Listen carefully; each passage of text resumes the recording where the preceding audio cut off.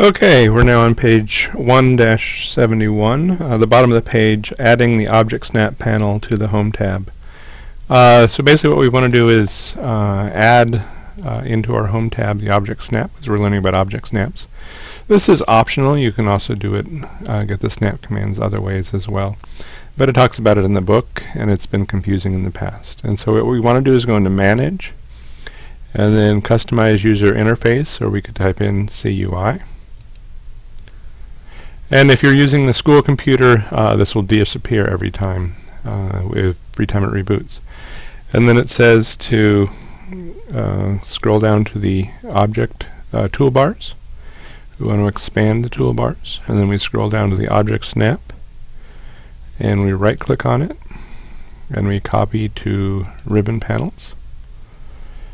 Uh, so it's only, yes, It's saying it's only of this CUI file. So now we have object snap copied into our ribbon panels. And then we want to, now it can be something in the ribbon. So now we scroll down again, right click on this and say copy. And then we can go into our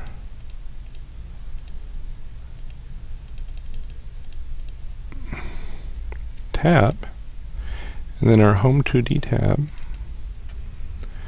we can paste, and there is our object snap.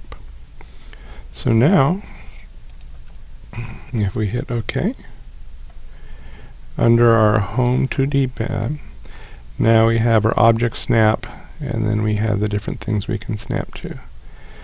Uh, so again, this is optional. If you have a Mac, I don't think you can do this. But you can also, if you want to draw a line,